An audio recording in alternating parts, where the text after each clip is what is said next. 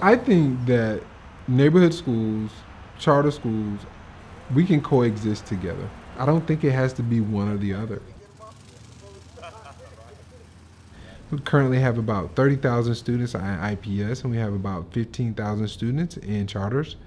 We love to create a new narrative where those, you know, 45,000 students, 50,000 students are all considered Indianapolis public school students.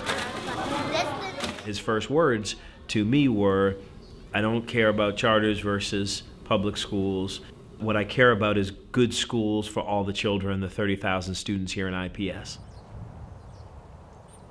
Francis Scott Key School 103 was one of the schools on my list. 103 was the worst school uh, in the district.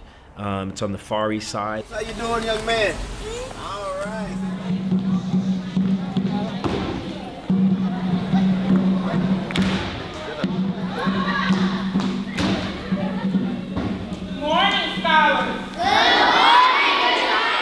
The ability to partner with the district allows us to focus on now let's make this the best possible school that we can for our children. Tailback and head are black.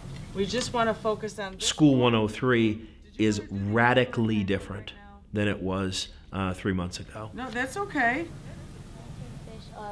We cannot let another generation of children pass through these walls without the education that will allow them to be successful